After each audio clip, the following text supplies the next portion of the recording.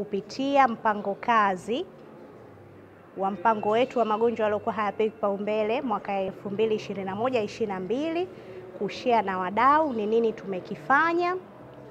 na pia kupitia mpango wa mwaka 2022 23 um, kuonyesha mpango wa taifa wa magonjwa yaliyokuwa hayapewi kipaumbele unategemea kufanya nini? Ili kutekeleza maagizo na maelekezo ya Mheshimiwa Rais wa Jamhuri ya Muungano wa Tanzania Mama Samia Suluhu Hassan, hasa pale aliposain makubaliano ama Kigali Declaration tarehe 27 mwezi wa kwanza mwaka 2022 kwamba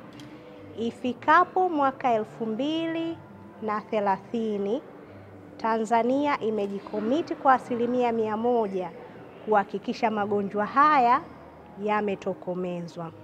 Sasa kama Wizara ya Afya na kama mpango wa taifa wa kudhibiti magonjwa haya tumejipanga kufanya nini? La kwanza ni kuhakikisha tunapata dawa za kutosha na tunagawa dawa hizi ambazo tunaziita kinga tiba katika jamii kwenye maeneo yaliyoathirika, lengo ikiwa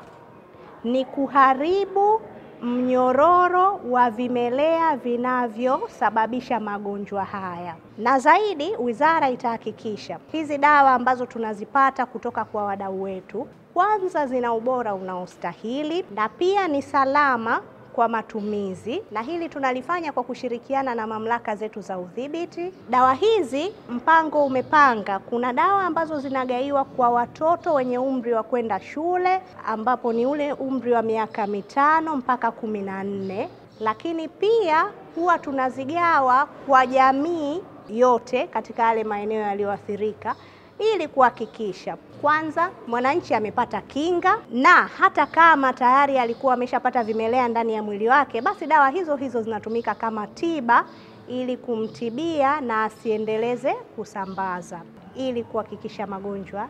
yametokomezwa.